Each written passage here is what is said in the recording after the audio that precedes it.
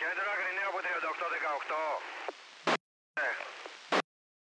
Θα μας πάει ένας που μας βγάλει ακριβώς τη φωτιά. Μας είπε ότι περνάει το αυτοκίνητο.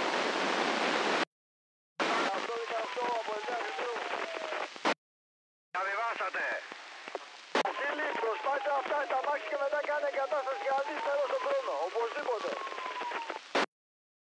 Ελήφθη ερμή. Στον Νίκη δώσε μου νερό. Τα 5.39 λίγο πιο μπροστά σου είναι διασταύρωση. Εκεί θα περιμένεις και σε συνεννόηση με τον χρόνο που θα δώσεις το νερό. Ελήφθη από 45-39. 84 και από εκεί το 14-84 στο δεύτερο.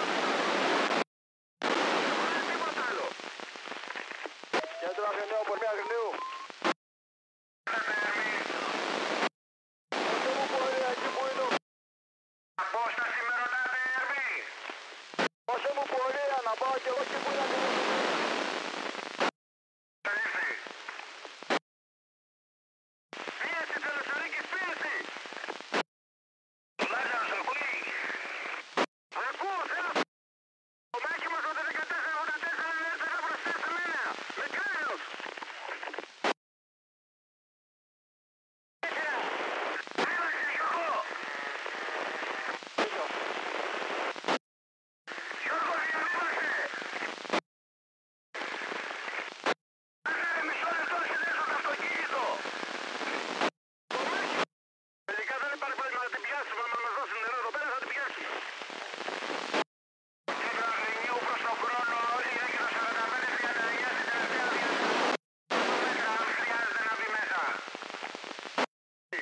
38-18 κατέβασε διασταύρωση και περίμενε εκεί.